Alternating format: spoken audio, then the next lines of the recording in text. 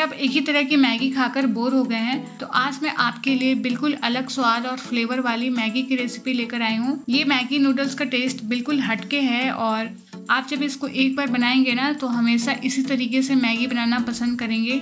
तो आइए देखते हैं इसे कैसे बनाया जाता है।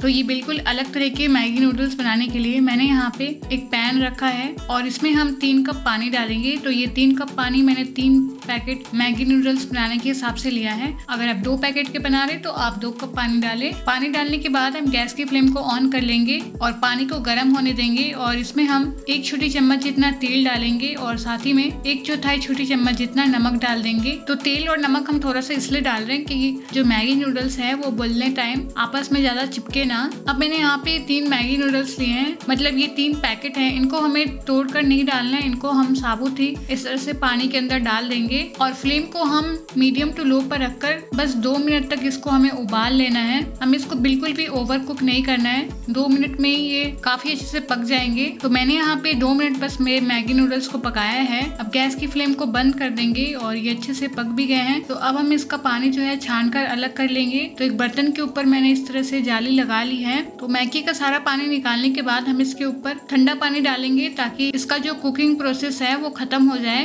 तो ठंडे ठंडे पानी से इसको धोकर छान लीजिए और इसके बाद हम इसको एक अलग बर्तन में ले लेंगे। अब हम इस पकाए हुए मैगी नूडल्स के अंदर थोड़ा सा तेल डाल देंगे ताकि ये आपस में चिपके ना। तो एक छोटा चम्मच इतना तेल डाल लीजिए और इसको अच्छे से मिक्स कर लीजिए। अब क्योंकि ये जो मैगी नूडल्स हम बना रहे हैं, इसको हम बिल्कुल अलग टेस्ट और फ्लेवर में बनाने वाले हैं चाउमीन वाले स्टाइल में तो इसमें हम कुछ और चीज़ें जो है वो पहले से मिलाकर रखेंगे। तो यहाँ पे मैं एक बड़ा चम्मच जितना रेड चिली सॉस डाल देंगे। एक बड़ा चम्मच हम इसमें ग्रीन चिली सॉस डाल देंगे। अब इसमें हम एक बड़ा चम्मच टोमेटो केचप डाल देंगे। तो मैगी के पैकेट के जो टेस्ट मेकर होते हैं, वो हम दो पैकेट डाल देंगे इसके अंदर और एक पैकेट जो है हम बाद में यूज़ करेंगे। तो बस ये चारों चीज़ें जो है, हमें मैगी को उबालने के बाद इस तरह से डालकर मिक्स कर लेनी है। इस तरह से सॉसेस पहले मिला लेने से इसके ऊपर काफ़ी अच्छे से कोटिंग हो जाती है और बाद में मिक्सिंग की ज़्यादा झंझट भी नहीं होती है। जब हम कुकिंग के टाइम इसको मिक्स करके बनाते हैं तो ये उतने अच्छे से मिक्स भी नहीं होता है। तो इसको मिक्स करने के बाद अब हम साइड में रख देते हैं तो यहाँ पे मैंने वापस से पैन गर्म होने को रखा है। इसमें हम एक से दो बड़े चम्मच जितना तेल डालेंगे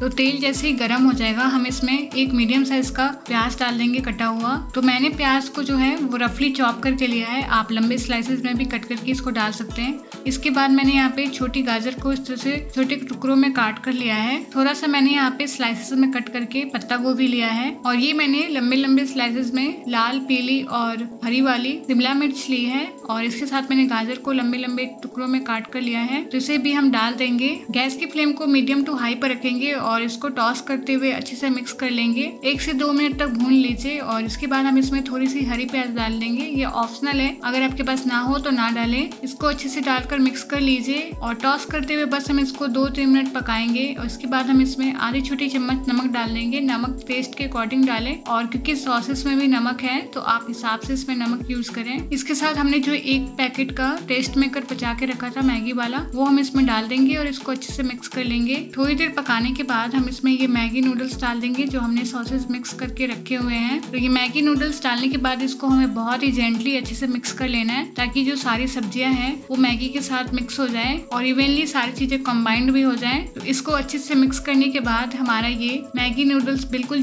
चाउमिन स्टाइल में बन के तैयार है। इसको आप गर्मा गर्म सबको खिलाए। सबको बहुत ज़्यादा पसंद आएगी, खासकर बच्चों को। इस अलग तरह की मैगी की रेसिपी तो बहुत ही ज़्यादा पसंद आएगी। तो आप ज़रूर बनाइए और सबको खिलाइए। वीडियो अच्छी लगी हो तो लाइक शेयर ज़रूर कीजिएगा। आप हमारी वीडियो कहाँ से देख रहे हैं ये भी हमें ज़रूर बताएँ। फिर मिलेंगे आपसे अगली वीडियो में। तब तक के लिए बाय बाय टेक केयर